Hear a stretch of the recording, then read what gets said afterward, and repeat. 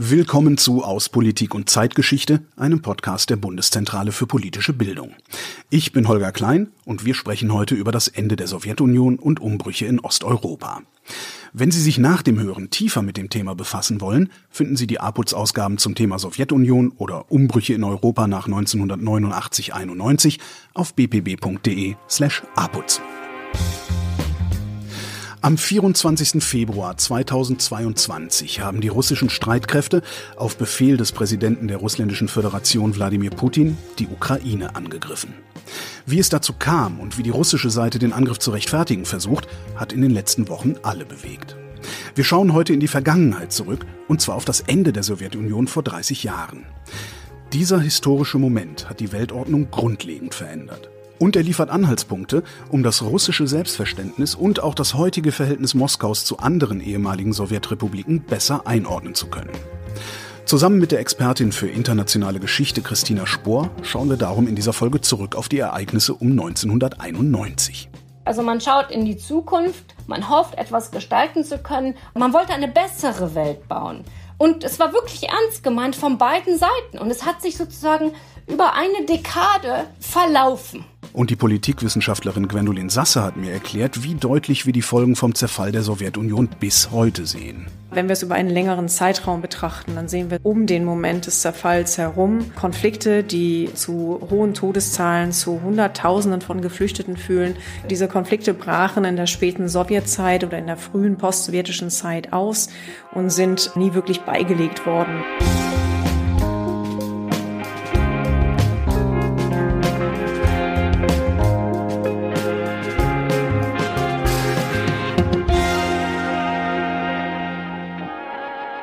Ende 1991 hat sich die Sowjetunion aufgelöst.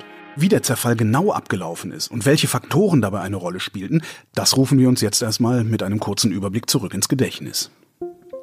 Vor mehr als 30 Jahren hörte die Sowjetunion auf zu existieren. Schon seit dem Sommer 91 waren die baltischen Republiken Estland, Lettland und Litauen wieder unabhängig. Im Dezember 91 beschlossen dann die russische, die ukrainische und die belarussische Sowjetrepublik in einem Abkommen, die Sowjetunion aufzulösen. Die übrigen Sowjetrepubliken schlossen sich dieser Entscheidung mehrheitlich an. Daraufhin trat Michail Gorbatschow, der damalige Präsident der Sowjetunion, am 25. Dezember 1991 zurück. Wie es in so kurzer Zeit zur Auflösung der Sowjetunion kommen konnte, darüber ist viel diskutiert worden. Wichtig ist dabei, dem formellen Ende ging ein längerer Auflösungsprozess voraus. Mehrere Faktoren setzten das System unter Druck. Der erste wichtige Faktor war die Wirtschaft, die schon seit den 70er Jahren stagnierte. Die Planwirtschaft war auf die Grundversorgung der Bevölkerung ausgerichtet, aber nicht darauf, Konsumgüter zu produzieren. Technologisch war die Sowjetunion im Vergleich zum Westen zurückgefallen. Mit der Ölkrise entfielen 1973 dann auch die Devisen, die für Auslandsimporte wichtig waren. Und dazu kam noch der teure Krieg in Afghanistan ab 1979. Parallel dazu hatte das Vertrauen in das System und die Ideologie bei der Bevölkerung nachgelassen. Das lag zum Beispiel daran, dass Korruption weit verbreitet war oder auch, dass der Kreml versucht hatte, die Reaktorkatastrophe in Tschernobyl zu vertuschen. Dieser Vertrauensverlust hatte Proteste ausgelöst, zum Beispiel im Baltikum. In der Folge forderten Estland, Lettland und Litauen ihre Unabhängigkeit von der Sowjetunion. Ein wichtiges Stichwort war dabei Souveränität. Denn die Sowjetrepubliken waren laut sowjetischer Verfassung souverän. Sie hatten also das Recht, aus der Union auszutreten. Nur war das genaue Prozedere nicht klar definiert. Die baltischen Staaten hielten bis zum Sommer 1991 Referenten zu ihrer Unabhängigkeit ab, die dann von der Sowjetunion anerkannt wurden. Dass diese Austritte möglich waren, lag unter anderem an Michail Gorbatschow. Er hatte Reformen und eine Öffnung Richtung Westen angestoßen, die eigentlich innerhalb des sowjetischen Systems funktionieren sollten. Aber die Reformen entwickelten im gesamten Ostblock eine Eigendynamik, die er nicht stoppen konnte. Im August 1991 versuchten politische Hardliner dann, Gorbatschow zu stürzen. Dieser Versuch scheiterte zwar, aber Gorbatschows Position war geschwächt. Er wollte eine Sowjetunion souveräner Staaten zusammenhalten, doch der Widerstand war groß. Und dieser Widerstand kam nun nicht nur aus der Peripherie, sondern auch aus dem Machtzentrum. Der damalige russische Präsident Boris Jelzin drängte aus Moskau darauf, die Sowjetunion aufzulösen. Auch Russland sollte unabhängig werden, was dann im Dezember 1991 auch passierte. Vor dem Kreml wehte jetzt also die russische Flagge statt der sowjetischen. Die Russländische Föderation, so ihr offizieller Name, hat danach die internationale Rechtsnachfolge der Sowjetunion angetreten und auch den permanenten Sitz im UNO-Sicherheitsrat übernommen.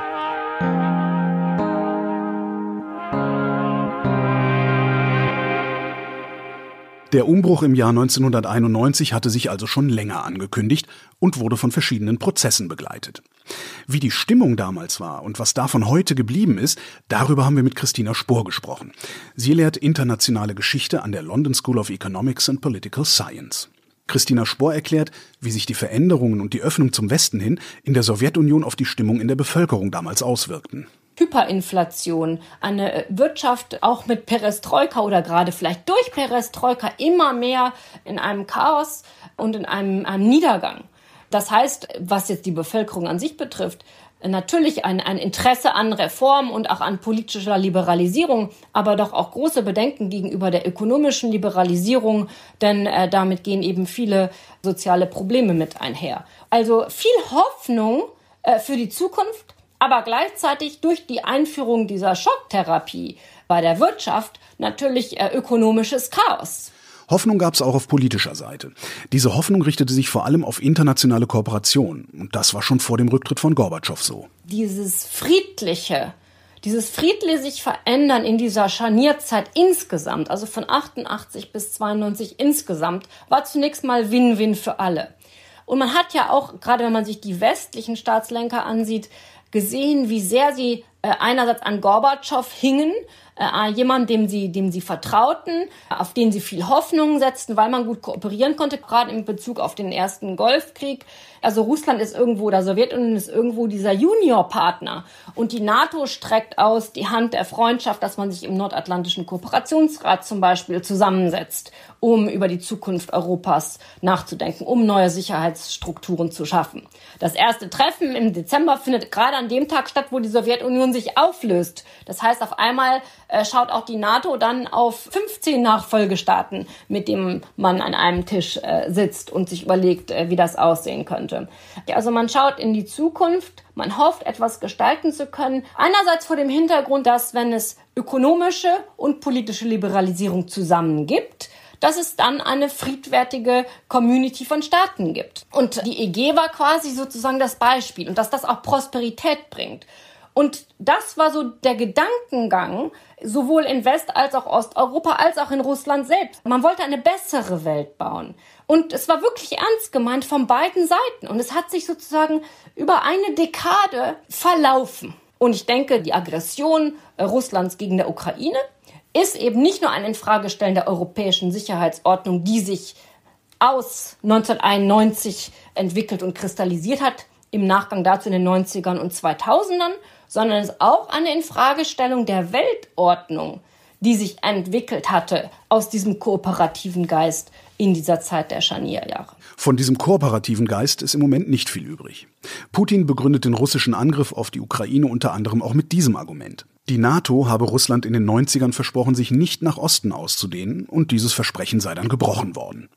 Christina Spohr widerspricht. Also was die NATO betrifft, äh, da bin ich recht kategorisch. Ich kenne die Dokumente sowohl im Osten als im Westen in und auswendig. Und es gibt keine formellen Versprechen, auch nicht im Zuge der deutschen Einheitsgespräche und Verhandlungen, die irgendwo festgeschrieben hätten, dass sich die NATO niemals nach Osten äh, weiter ausdehnen darf. Mit Osten meine ich jetzt Osteuropa. Ja, es gab eine Aussage zum Beispiel von James Baker, dem amerikanischen Außenminister, zu der nicht einen Zoll weiteren Ostausdehnung der NATO-Infrastruktur im Februar 1990. Das sind frühe Sondierungsgespräche. Am Schluss ist das wichtig, was in Verträgen herauskommt. Und daran hält man fest. Und daran halten die Deutschen auch ganz fest. Deswegen war das sehr schockierend, dass wenn das immer wieder aufgewärmt wird, dieses Narrativ der russischen Demütigung und des, äh, des Verrats an 1990. Dieses Narrativ von Demütigung und Verrat, das Christina Spohr anspricht, hat entscheidenden Einfluss auf Putins heutige Argumentation für den Angriff auf die Ukraine. Obwohl es 1991 zunächst so viel Hoffnung gab, hat sich das Narrativ der Demütigung in Russland in der Zeit danach immer weiter verhärtet das Ost-West-Verhältnis hat sich verschlechtert und kulminiert dann irgendwann damit, dadurch, dass auch gerade diese russische Präsidentschaft schon nach 93 so stark erstarkt das, was also Jelzin sozusagen konstitutionell schafft, aber gleichzeitig auch nicht schafft, Recht und Ordnung in Russland einhalten zu lassen, sondern die Oligarchen sozusagen aufleben können. Äh, das ermöglicht da ja praktisch dann das Phänomen Putin später und den Revisionismus vor dem Hintergrund, Russland fühlt sich gedemütigt, Russland hat hier irgendwas verloren. Und wenn ich daran glaube, dass Russland den Anspruch hat, eine Großmacht, eine Weltmacht zu sein, dann muss das irgendwie wiederhergestellt werden.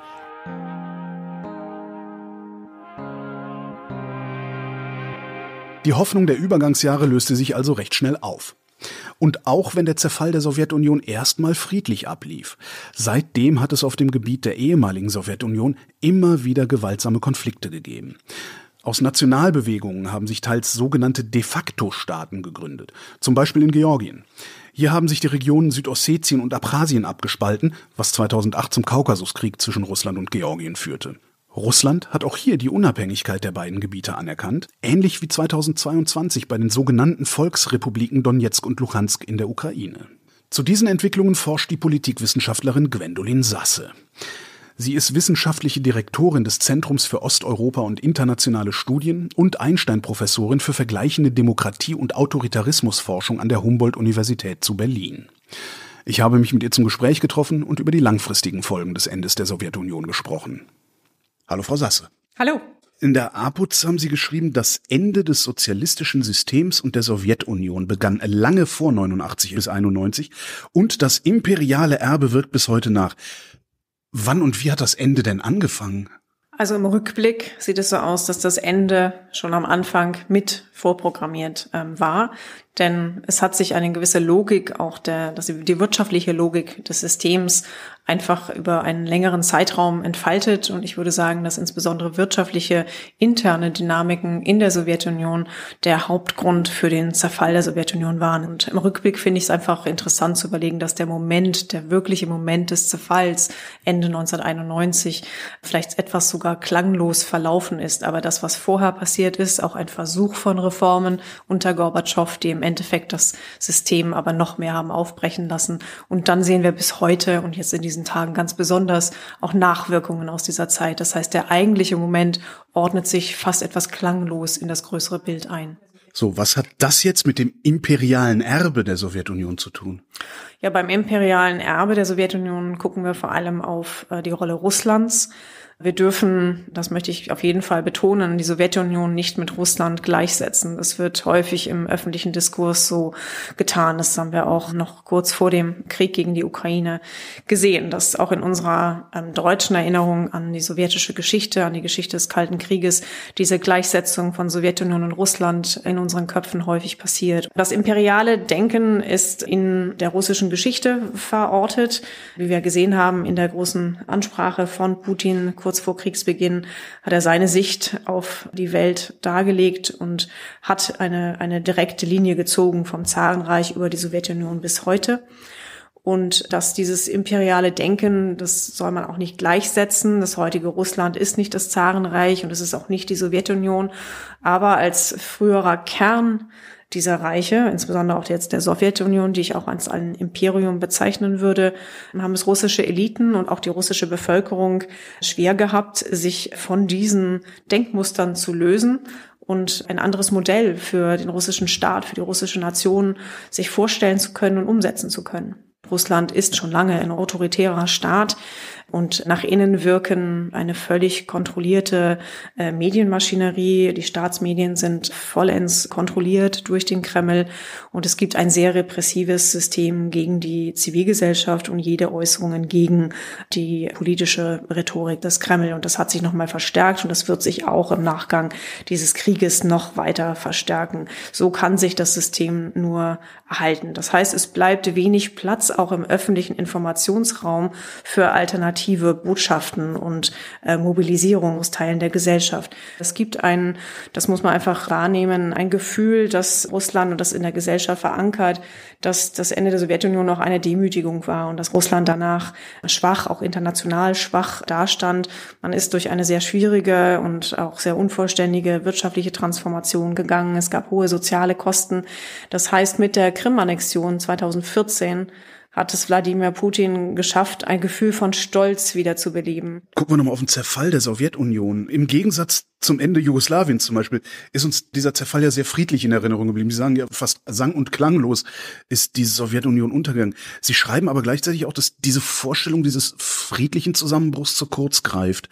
Wie sollten wir uns das denn besser vorstellen? Ja, als ich eben gesagt habe, dass es eigentlich sang- und klanglos Ende 1991 äh, vonstatten ging, da meinte ich den Moment, als Gorbatschow sozusagen abdankte und die Flagge über dem Kreml ausgetauscht wurde. Der Moment war eher klanglos, wenn man vorher überlegt, was auch mit welcher Dramatik sich die letzten Mo Monate in der Existenz der Sowjetunion gestaltet hatten, vom, insbesondere vom Augustputsch 1991 und äh, was dann darauf folgte. Aber es ist wichtig zu verstehen, dass das Ende der Sowjetunion auf keinen Fall friedlich verlaufen ist. Wenn wir es über einen längeren Zeitraum betrachten, dann sehen wir sowohl um den Moment des Zerfalls herum. Konflikte, die zu hohen Todeszahlen, zu Hunderttausenden von Geflüchteten fühlen, insbesondere in den Gebieten, die wir fälschlicherweise häufig als die eingefrorenen Konflikte bezeichnen. Also in Abchasien, Südossetien, in Georgien, in Transnistrien, in Moldau und äh, Nagorno-Karabach, wenn es um Armenien und Aserbaidschan geht. Und diese Konflikte brachen in der späten Sowjetzeit oder in der frühen postsowjetischen Zeit aus und sind äh, nie wirklich beigelegt worden und äh, sind dann auch in einigen Fällen bereits durch einen zweiten Konfliktzyklus jetzt gegangen. Also es kam zu neuen kriegerischen Auseinandersetzungen, sowohl in Georgien als auch in Nagorno-Karabach. Wie würden Sie die eingefrorenen Konflikte denn lieber bezeichnen? Also ich bezeichne sie als Konflikte und als Kriege, aber ich würde nicht sagen, sie sind eingefroren. Dieser Begriff, der signalisiert eine Art Stabilisierung und wir sehen eben genau daraus, dass die Konflikte oder Kriege neu ausbrechen, dass Konflikte nicht stillstehen. Sie haben ihre eigene Dynamik, selbst wenn es dann über einen längeren Zeitraum vielleicht nicht zu Todesopfern kommt oder, oder diese begrenzt bleiben, dann entwickeln sich dennoch Dynamiken weiter und diese ungelösten territorialen Konflikte können jederzeit neu aufbrechen, können neu mobilisiert werden und das spiegelt sich meiner Ansicht nach in diesem Begriff eingefroren nicht wieder. Nennen Sie es deshalb auch de facto Staaten, weil es noch territoriale Konflikte gibt? Ja, also es ist ein Begriff, der immer häufiger verwendet wird. Damit wird natürlich nicht die Legitimität dieser kleinen Staaten bezeichnet, aber man weist darauf hin, dass diese, diese mm, Territorien nicht nur Anhängsel anderer Staaten sind, dass die Bevölkerung auch in diesen Staaten sich anpassen muss an, an die Gegebenheiten und dass eben diese, diese Territorien in einer prekären Situation sind. Sie werden nicht anerkannt, sie können nicht anerkannt werden, zumindest nicht global. Vermutlich meistens sind sie von Russland anerkannt. Aber es lenkt den Blick darauf, dass sie doch mehr sind als nur Objekte und insbesondere müssen wir da dabei auch die Bevölkerung in diesen Gebieten mehr beachten und äh, ihre Praktiken, ihre Ansichten zu, zu verschiedenen Fragen mehr in den Blick nehmen, als es bisher geschehen ist. Sie sagten, wir haben Bevölkerung, kein Staat ohne Staatsvolk. Selbst wenn es kein Territorium gibt, kann man ein Staatsvolk definieren. Welche Rolle spielen in so einem Staatsvolk ganz grundsätzlich Minderheiten? Sie sind ein wichtiger Teil von, von vielen Staatsvölkern und es ist durch historische Entwicklungen unterschiedlich gelagert, wie hoch der Anteil von einer oder vielleicht auch mehreren Minderheiten ist, wer überhaupt als Minderheit auch anerkannt wird, wie das rechtlich umgesetzt ist, welchen Minderheitenschutz es gibt oder es eben auch nicht gibt. Das heißt, diese, diese Dinge sind sehr divers gelagert, aber sie sind bei Konflikten und auch im Nachgang, Nachkriegen ein, ein wichtiges Thema. Das alles gilt ja auch für die Ukraine, was wir gerade besprechen, oder? Genau, und das ist jetzt leider ein trauriger weiterer Punkt in der Diskussion des imperialen Erbes der Sowjetunion. Denn was wir heute sehen, ist noch eine direkte Folge aus ja der russischen, aber dann vor allem auch der sowjetischen Geschichte. Und Wladimir Putin hat der Ukraine als Staat ihre Existenzberechtigung abgesprochen und, und will eigentlich auch nicht wirklich zur Sowjetunion zurück, sondern zu einer diffus definierten Zeit davor. Das heißt, diese Diskussion überhaupt über ähm, welche Teile zum ukrainischen Staat, wie er 1991 entstanden ist, aus den, eigentlich den Trümmern der, der Sowjetunion. Das ist eine direkte Folge dieser Zeit. Und das heißt, wir beschäftigen uns jetzt gerade in diesen Tagen mit den Langzeitfolgen. Wie passt da dieser Separatismus äh, in, in der Ostukraine zum Beispiel rein? Zur Auflösung der Sowjetunion gehörte Separatismus. Separatismus beschreibt, dass die Bevölkerung oder politische Eliten oder beides, dann wird es besonders wirkmächtig, sich lossagen wollen von einem Staat und damit auch von dem politischen, wirtschaftlichen System, das er verkörpert. Nicht immer um direkte Unabhängigkeit zu erhalten. Auch diese Behauptungen und diese Mobilisierungen gab es, aber insbesondere um mehr Selbstbestimmung für vielleicht ein, ein Gebiet, eine Region, eine Republik, das hieß verschieden in der Sowjetunion, zu erhalten. Und separatistische Strömungen gibt es äh, nicht nur in, in dieser Region, die gibt es auch in, die gibt es weltweit. Und wir, wir sehen sie, haben sie auch im, im Nachgang des Euromaidan in der Ukraine, in Teilen der Ostukraine gesehen. Das heißt, das ist tatsächlich eine Separatisten oder eine separatistische Bewegung, die nicht nur deshalb existiert, weil Moskau die befeuert. Moskau hat sie dann sehr schnell befeuert und ohne Moskau hätte sich diese Bewegung auch in Teilen des Donbass nie äh, so etablieren können, wie sie es dann getan hat. Aber wir müssen ehrlicherweise anerkennen, dass es separatistische Strömungen zumindest unter Teilen der Eliten in diesen Gebieten gab. Und die separatistische Mobilisierung, auch militärische Mobilisierung, wurde sofort von Russland sowohl finanziell als auch militärisch unterstützt. Und daraus haben sich diese sogenannten Volksrepubliken ergeben. Die Tatsache, dass in der Ostukraine auch ethnische Russen und Russinnen und insbesondere ein, eine große russischsprachige Bevölkerung lebt, das ist in keiner Weise mit einer Orientierung gen Russland, sei es politisch, sei es, sei es auch kulturell, gleichzusetzen. Das heißt, ich glaube, das wird bei uns häufig missverstanden, dass die Ukraine ein diverses Land ist und im Südosten gibt es ethnische Russen und Russinnen, sie sind aber eine Minderheit. Und es gibt viele, die Russisch sprechen, aber sich als ukrainisch, auch ethnisch ukrainisch definieren. Das ist also eine, eine viel diversere Situation. Daraus leitet natürlich Russland politische Ansprüche ab. Ist das ein Einzelfall oder sehen wir da ein Muster?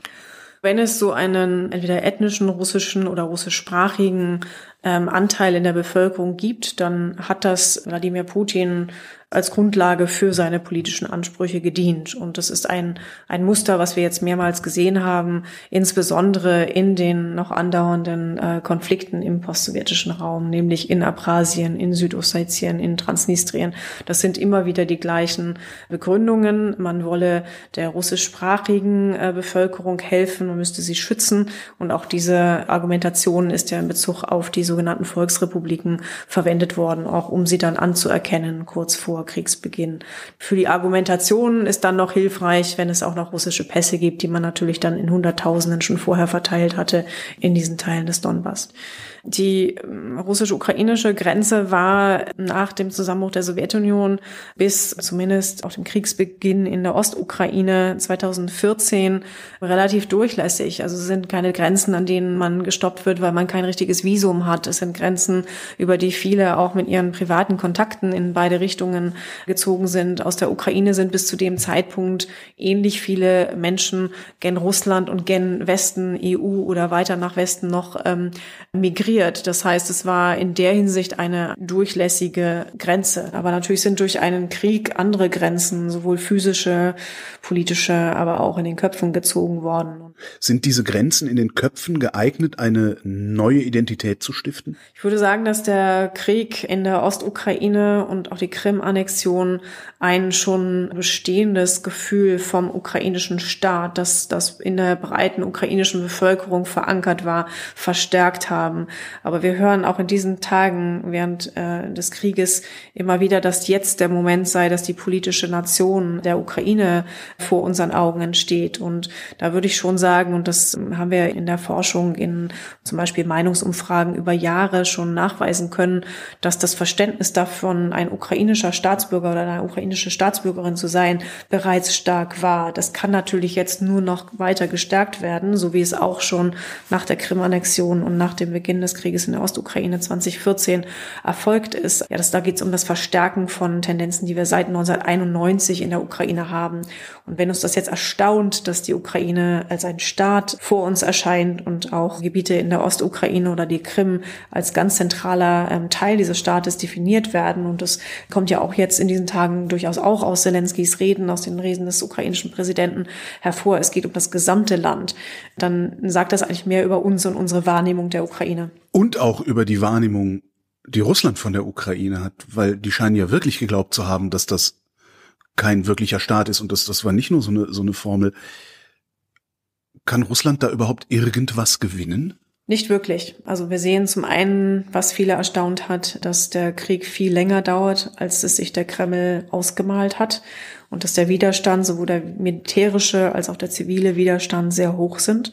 Natürlich sind auch Opferzahlen dadurch enorm hoch, auch auf russischer Seite. Das heißt, den Krieg kann man noch gewinnen, aus russischer Seite mit großen Kosten verbunden, viel höheren, als man sie eingeplant hat. Aber was danach kommt, kann man nicht gewinnen. Und es ist deutlich jetzt, dass es nicht möglich sein wird, Teile der Ukraine politisch zu kontrollieren nach einem Krieg. Angenommen, Russland verliert den Krieg. Was würde das für die russischen Identitäten oder die russische Identität bedeuten? Es ist eigentlich meiner Ansicht nach gar nicht davon abhängig, ob Russland gewinnt oder verliert. Und vielleicht wird es auch nicht so klare Gewinner und Verlierer geben können.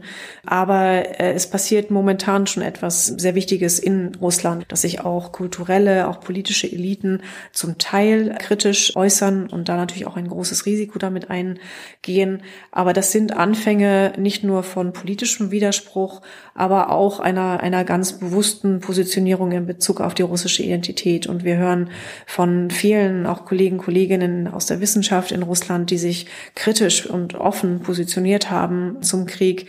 Wie sollen wir damit jemals leben? Also diese Idee, in einem Land zu leben, dessen Präsidenten diesen Krieg verursacht hat, diesen Angriffskrieg auf die Ukraine, das wird sehr lange nachwirken. Und die Folgen davon können wir uns, glaube ich, noch gar nicht ausmalen. Wir sprechen gerade viel über sicherheitspolitische Konsequenzen für Europa, den Westen, die Welt, aber auch im Land selber, wenn dann die Nachrichten und auch die Wahrheiten über diesen Krieg in Russland noch mehr bekannt werden, als sie es momentan sind. Momentan muss man sich einfach auch noch vorstellen, dass man schon gut aufgestellt sein muss, um im Internet die wirklichen Informationen abrufen zu können. Das können im Moment nicht alle. Aber die äh, Wahrheit wird sich nicht verbergen lassen. Und da glaube ich einfach nicht, dass auch ein autoritäres System das auf Dauer kontrollieren kann und in einen Sieg umdefinieren kann. Russland hat ja in den 90er Jahren die Souveränität der Ukraine anerkannt und hat jetzt gesagt, nee, die Grenze bedeutet uns nichts. Wir marschieren da jetzt rüber.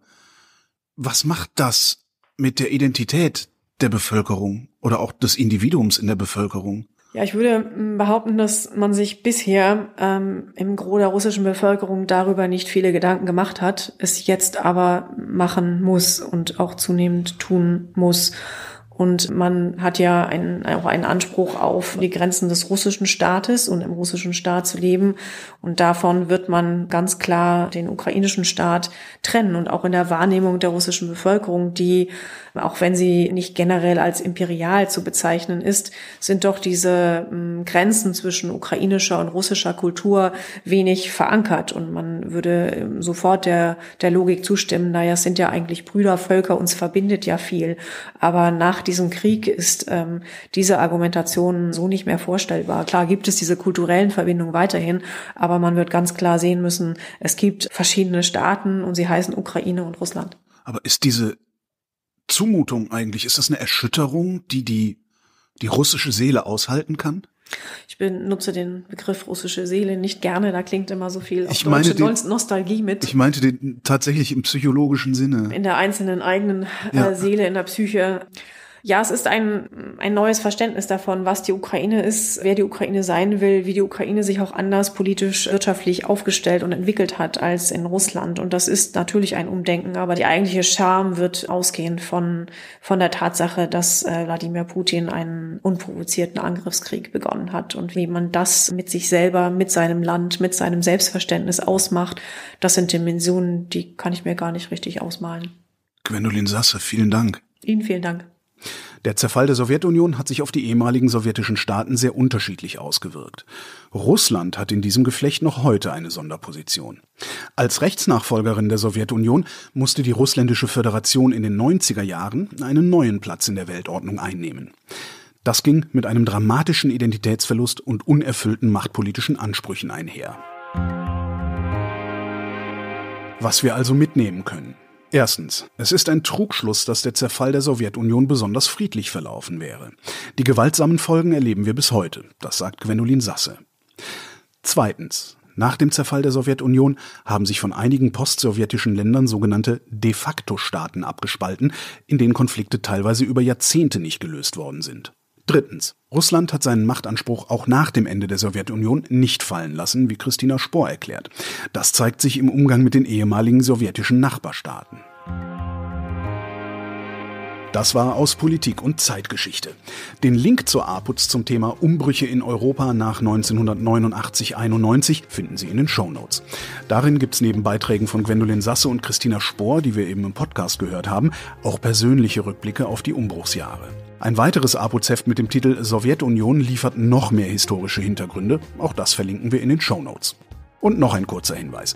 Die Grundlage für die kurze Zusammenfassung am Anfang war eine Folge des Videoglossars Das Ende der Sowjetunion, das in Zusammenarbeit der Bundeszentrale für politische Bildung mit dem Zentrum für Osteuropa und internationale Studien entstanden ist. Darin erklären Wissenschaftlerinnen und Wissenschaftler in kurzen Videos zentrale Begriffe und Ereignisse rund um die Umbrüche vor 30 Jahren. Sie finden das Videoglossar in der BPB-Mediathek und ebenfalls in den Show Notes. Und natürlich freuen wir uns, wenn Sie Feedback zu dieser Folge haben. Fragen, Lob, aber auch Kritik können Sie uns schicken an aputz.bpb.de. In vier Wochen erscheint die nächste Folge, dann sprechen wir über Geldpolitik. Ich bin Holger Klein und danke für die Aufmerksamkeit.